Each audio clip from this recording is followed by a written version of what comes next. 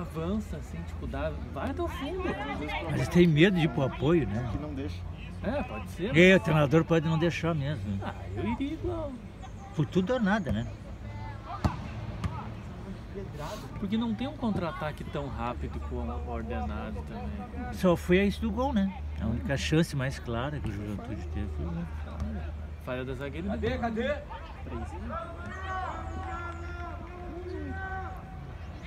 Ai ai ai, Cavoli.